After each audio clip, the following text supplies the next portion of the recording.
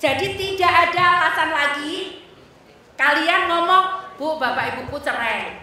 Bu, bapak ibuku meninggal. Tidak ada alasan lagi. Ya? Mengerti ya? Kalian masih punya ibu.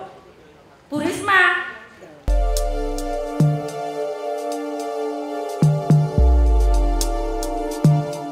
Kejadiannya sama ibu.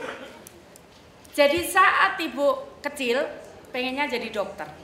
Karena ibu sakit-sakitan. Duduk silakan kakak.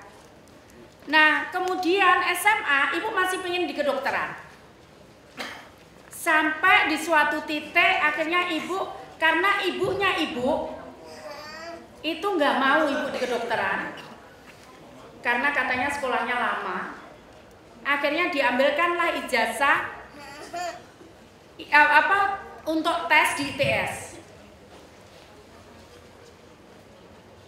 Akhirnya ibu tes di ITS. Nah tapi ibu masih pengen di kedokteran. Ibu ngambil di UNS Solo, ibu tes kedokteran.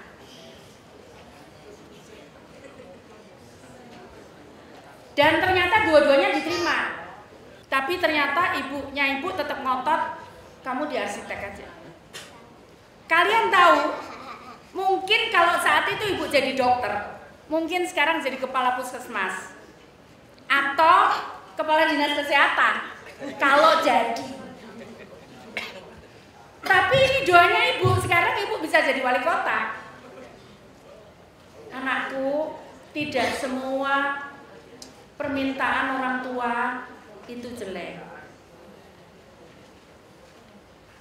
Kamu bisa kamu tidak harus pindah. Ini tolong renungkan ya. Kamu tidak harus pindah. Kamu bisa sekolah itu, nanti tak carikan training, kamu bisa belajar memasak. Ikutkan di uh, pejuang muda ya. Kalau dulu ibu ngotot jadi dokter, mungkin juga tidak begini ceritanya. Paham ya saya? Jadi tidak boleh sekarang putus asa kalian. Kalian bisa sama dengan anak yang lain. Tadi kalian saya bisa tunjukkan kakak-kakak kalian punya cerita macam-macam kan? Oke? Jadi tidak ada alasan lagi kalian ngomong, "Bu, bapak ibuku cerai." "Bu, bapak ibuku meninggal." Tidak ada alasan lagi. Ya? Mengerti ya? Kalian masih punya ibu Bu Risma. Mengerti semuanya? Kalian masih punya Bu Risma. Oke? Ya? Ya seperti Fikri ya, Fikri ya. Kamu punya Bu Risma ya?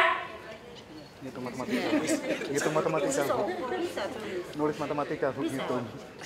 Bisa. Satu hari udah bisa ya.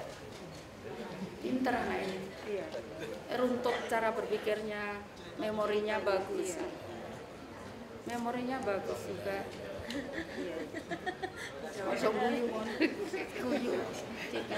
Oke, sudah saya semuanya. Kalian pasti mikir tadi, oh ke rumahnya Bu Risma nanti dimarahi ya? Enggak, untung aku.